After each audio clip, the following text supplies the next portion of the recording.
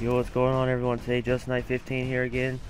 Today I'm doing uh, $20 worth of pack pulling.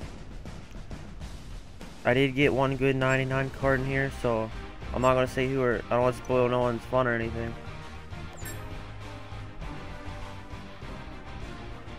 Also, um, probably this Friday I'm going to do another 50 pack pulling. Next month I'm probably going to do a 200 to $300 pack pulling video. Um, also bought a brand new laptop. So I upgraded my stuff so you guys have better quality and stuff. Faster videos to render and all that.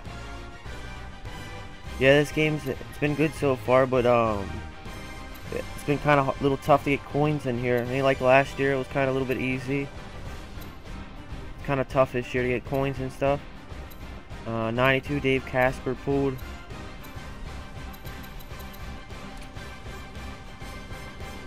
His stats are okay, but tight end I like the most so far probably be that um guy. He's good. He has good speed on him and stuff. He's making good catches for me and everything. Okay, second pack.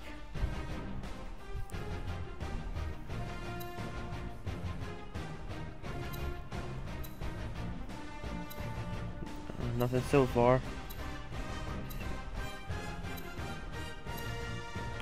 Still nothing. Last one. There you go, 99 gold star. Graham, quarterback. So that was a pretty good. He's pretty good in the game. He breaks a lot of tackles and everything. So yeah, I'm I'm pretty good about uh, excited about him.